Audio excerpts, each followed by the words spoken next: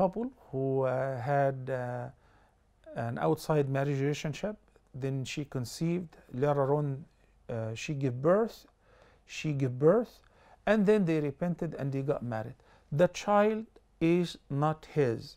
So Islamically, they do not inherit from each other. But they got married, they repented, and he raised a child and he named it after himself. He doesn't have a share of the inheritance, he or she.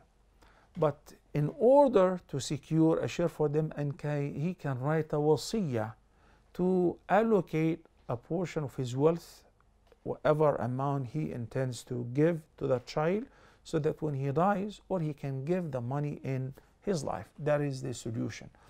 Because a child who is born out of wedlock, number one, the child is not blameworthy. Number two, there is no actual relationship besides the biological relationship. Yani, he is not actually the father before law, nor is the child his or her uh, uh, child, uh, his child be, before the Islamic Sharia, I mean.